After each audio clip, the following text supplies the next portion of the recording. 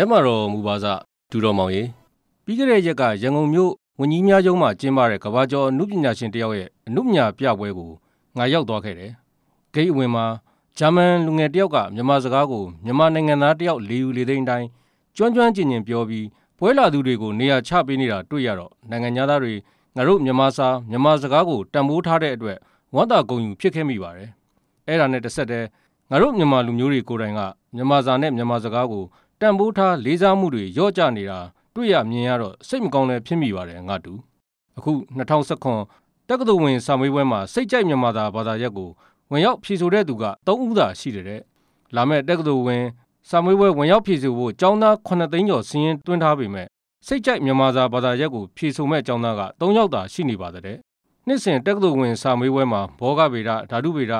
ယူဘဗေဒဘာသာတွေမှာရှောက်ထားသူတွေကသာအများဆုံးဖြစ်ခဲ့ပြီး ပထဝီနဲ့တမိုင်းဘာသာရဲ့ဖြည့်ဆိုမဲ့သူကတောင်ကနန်းရည်တွက်လောက်သာရှိပေမဲ့မြန်မာစာအထူးပြုယူမဲ့သူကတော့၃ယောက်သာရှိတဲ့ငါတူငါတို့မြန်မာနိုင်ငံသားတွေကိုယ်တိုင်မြန်မာစာမြန်မာစကားကိုအထင်ကြီးလေးစားရကောင်မှမသိတာတန်ဖိုးမထားကြတာဟာရင်နာစရာပါအခုငါတို့နိုင်ငံမှာရှိတဲ့အစိုးရအကြောင်းတွေကိုပိုင်အကြောင်းတွေမှာလည်းမြန်မာစာကိုတန်ဖိုးမထားတာအခြားဘာသာရပ်တွေကိုသာအလေးပေးသင်ကြားနေတာတွေရှိနေပါတယ်မြန်မာဘာသာကိုသင်ရိုးညွှန်းနှန်းထဲမှာထည့်ထားလို့သာဝိကြေတန်းကြီးသင်နေကြတဲ့အနေအထားမျိုးပါငါတူ ဆရာဆရာမအချင်းချင်းအတူတူအင်္ဂလိပ်စာသင်တဲ့ဆရာဆရာမနဲ့မြန်မာစာသင်တဲ့ဆရာဆရာမတမ်းမတူသလိုအနေအထားမျိုးကိုကျောင်းသားမိဘနဲ့ဆရာဆရာမအချင်းချင်းကတော့ခွဲခြားအထင်မြင်သေးခြင်းတဲ့အခြေအနေမျိုးတွေစာသင်ကျောင်းတွေမှာကြုံတွေ့နေရပါတယ်မြန်မာဘာသာကိုအခြားဘာသာတွေလောက်အလေးမထားပဲမိုင်းနာဘာသာလောက်တာသဘောထားကြပါတယ်မြန်မာစကားကိုမြန်မာနိုင်ငံသားတွေအားလုံးပြောတတ်နေကြတဲ့အတွက်မြန်မာဘာသာကိုအထူးအလေးပေးသင်ယူစရာမလိုဘူးဆိုတဲ့မှားယွင်းတဲ့အယူဆဟာလူတိုင်းနှိပါမှာအမြင့်တွယ်နေတာပါ ဒါကြောင့်လဲအလဲတန်းចောင်းသားဖြစ်နေပေမဲ့ကိုယ်နာမည်ကိုယ်တော်မှန်အောင်မပေါင်းတတ်သေးတာဝက်ကြမဖွဲ့တတ်သေးတာတွေရှိနေတာပေါ့ငါတူအလဲတန်းចောင်းသားမပြောပါနဲ့ဘိုးရပြီးတာတော့စလုံးပေါင်းတပ်ပုံအမှားမှားယွင်းယွင်းဖြစ်နေတာမြမစာအရေးသားကိုအထားတူကြကြမရေးတတ်သေးတာတွေအများကြီးတွေးနေကြရတယ်မဟုတ်လားအထူးသဖြင့်လူမှုကွန်ရက်ပေါ်မှာရေးနေတဲ့ post တွေ status တွေ comment တွေမှာကြည့်အလွယ်လွယ်အချော်ချော်အမှားမှားအယွင်းယွင်းရုပ်ပြက်ဆင်းပြက်ဖြစ်နေတဲ့စလုံးပေါင်းတပ်ပုံတွေအရေးအသားတွေအများကြီးတွေးရမယ်ဒါဟာ မြန်မာစာကိုတန်ဖိုးထားသင်ယူရကောင်းမှမသိတဲ့အကျင့်ဆိုးတွေရဲ့အကျိုးဆက်တွေပေါ့မြန်မာစာကိုကောင်းကောင်းသာမရေးတတ်တာဖြက်လို့ဖြက်စီးလုပ်တဲ့နေရာမှာတော့အတော်ပိုင်နိုင်နေကြပါတယ်မြန်မာစာကိုဗန်းစကားတွေနဲ့ရောမွေပြီးလူမှုကွန်ရက်စာမျက်နှာပေါ်မှာတွင်တွင်ကြဲကြဲသုံးနေကြတာလဲမင်းအသိပဲမဟုတ်လားရေပရစီကိုခွီးပရစီစမန်ထတာကိုခွာရက်တယ်တကယ်ကြီးကိုဂယ်ကြီးအပေအတေကိုဂျလုံးဂျလုံးအဆက်ရတာကိုဂွမ်းတယ်စာမွေးပွဲကိုစာမွဲအရန်လှတာကိုဆွန်းလန်းတယ် အချွန်နဲ့မတာကိုစေးထိုးတယ်ပိုင်ရှင်မဲ့ကိုတင်မိုးလွင်ဒုက္ခရောက်တာကိုပလက်ကျွတ်တာဘာရီမှန်းကိုမသိတော့ပါဘူးငါတူရမင်းကလူငယ်ဆိုတော့အဖထဲပို့ပြီးသိမှာပေါ့ဒါကလူမှုကွန်ရက်တွေပေါ်မှာကျွန်းထိုးမောက်ကုန်ဖြစ်နေကြတာအတီးရေးနေကြတဲ့စာနယ်ဇင်းလောကမှာကောအဲ့ဒါလည်းမထူးပါဘူးငါတူရ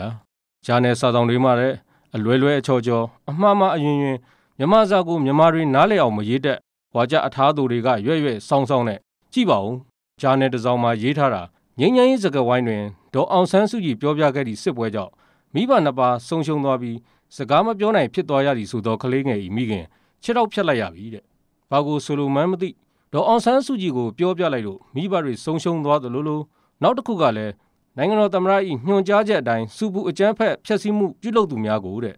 နိုင်ငံတော်သမ္မတကပဲစုပူအကြမ်းဖက်ဖို့ညွှန်ကြားထားသလိုလိုနောက်ကြားနယ်တစ်စောင်ကလည်း မြို့တော်ဝင်စီမံချက်ကြောင့်မင်္ဂလာဈေးကြီးမီးလောင်သွားခဲ့ရမှာရခင်ကတဲ့ပုံမူကောင်းမွန်လာတဲ့မြို့တော်ဝင်ကြောင့်ပဲမီးလောင်တယ်လို့လို့နောက်တစ်ဆောင်ကလည်းအမှုပညာရှင်များပါဝင်မဲ့လိန်အကျန်းဖက်မှုနဲ့တက်ငယ်မရိမှုစက်ညင်လှုပ်ရှားပွဲတဲ့အမှုပညာရှင်တွေကပဲလိန်အကျန်းဖက်လုံမာလို့လို့နောက်တစ်ဆောင်ကတော့22နှစ်လုံးတတ်တက်လို့စားလာတဲ့32နှစ်အရွယ်အမျိုးသမီးအသားကိုပထမဦးဆုံးစမ်းစားကြည့်မယ်တဲ့မသိရင်အမျိုးသမီးကပဲအစားခံရတော့မှလို့လို့ နောက်ပြီးလမ်းညွန်ဆိုင်မှုတွေစာရန်တွေမှာလည်းတလွဲတွေစာစီလို့ဆိုင်ဘုတ်တစ်ခုမှာဗာရေးထားတယ်လဲဆိုတော့ဖြတ်တန်းသွားလာနေသော မော်တော်ယာဉ်များလစဉ်စာမွေးပွဲဖြစ်နေပါသောကြောင့်အဝင်လန်းပိတ်ထားပါသည်တဲ့မော်တော်ယာဉ်တွေကပဲစာမွေးပွဲဖြစ်နေသလိုလိုနောက်တစ်ခုမှာတော့အိမ်သာတွိုက်လက်ကိုစားသုံးသူကာစတမာများမှအပအပြင်းသူသုံးဆွဲခွင့်မပြုတဲ့မသိရင်မစင်ကိုစားသုံးသူမှအပအကြံသူများမစားရတော့မှလိုလိုတော်တော်များများအလွဲတွေကြီးပါပဲငါတူဒါဟာမြန်မာစာကို တည်တည်ချာချာမလေ့လာမသိယူခဲ့တဲ့အကျိုးအပြစ်တွေပါနိုင်ငံသားတွေကမြန်မာစာကိုတန်ဖိုးထားလေ့လာနေချိန်မှာငါတို့ကမြန်မာစာကိုဥပက္ခာပြုတ်ထားကြတယ်ငါတို့မြန်မာစာကိုပြန်ပြီးတန်ဖိုးထားသင်ယူကြဖို့လိုနေပြီလို့ပြောရင်ဒီတစ်ပတ်ဏိကုံးချုပ်လိုက်ပြသေးငါတူမင်းလည်းအားရင်ငါစီစာပြန်မှာမင်းရဲ့ချစ်လာစွာသောအဘစန်နီဦး